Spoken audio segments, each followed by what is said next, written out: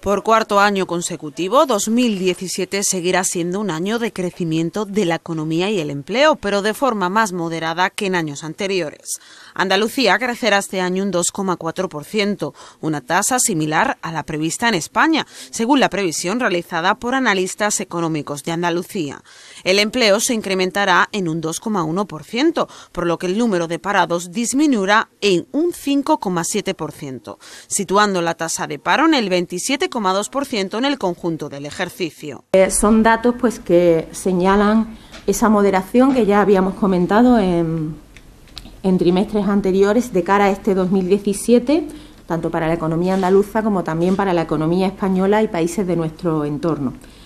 En cuanto a las distintas provincias andaluzas, pues nuestras estimaciones, eh, como ya sabéis, pues para el caso de las provincias andaluzas no tenemos datos oficiales de evolución de PIB trimestral.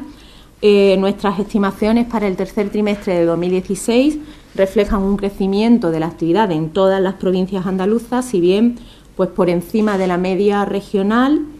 habrían crecido las provincias de Almería con un 3,3% interanual, Cádiz con un 3,1%, al igual que Málaga con un 3,1% y Sevilla un 2,9%. Para el conjunto del pasado año, para el conjunto de 2016, serían estas mismas provincias las que habrían mostrado pues crecimientos eh, similares y superiores al promedio regional, con tasas superiores al 3%, tanto en Almería,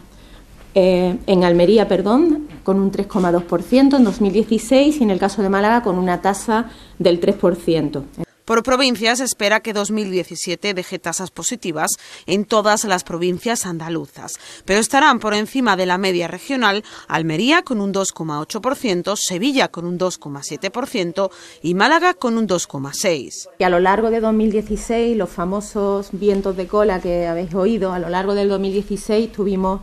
pues el tema, por ejemplo, de la bajada en el precio del petróleo, eh,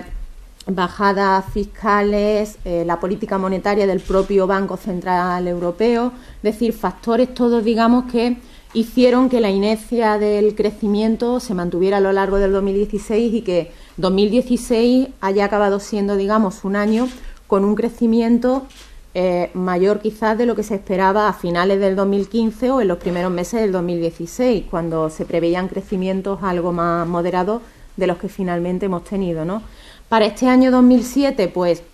como eh, no sé, me imagino que habréis oído y en otros informes también se señalan el tema, por ejemplo, esos vientos de cola, pues ya no van a ser tan, ya no van a tener ese efecto, ¿no? Los precios del petróleo, aunque por ahora no se espera eh, una subida que acabe afectando a las presiones inflacionistas, etcétera, sí que es cierto que ya han empezado a repuntar. Eh, y esos efectos, digamos, que han han hecho que la inercia se mantuviera, pues eh, se, se han disipado, digamos, en cierta medida, ¿no? La inversión repuntará en Andalucía un 3% y desde el punto de vista de la oferta crecerán todos los sectores no agrarios, con tasas del 2,6% en los servicios, 2,8% en la construcción y un 2,2% en la industria. Respecto a la construcción, los expertos de Unicaja destacan que pese a las cifras de compraventa de viviendas, número de visados o precios, los indicadores apuntan a un crecimiento, aunque la actividad, pese a los anuncios de los últimos meses de recuperación, sigue siendo aún muy baja. Hay incertidumbres y las incertidumbres, pues poner de manifiesto solamente una cosa, si efectivamente se menoscaba el comercio mundial, incidiendo especialmente en datos de comercio que ya venían desacelerando a nivel global, pues como decía recientemente el máximo líder chino en Davos, si entramos en una guerra comercial no habrá vencedores. Entonces únicamente tener todo este tipo de cosas en cuenta porque son elementos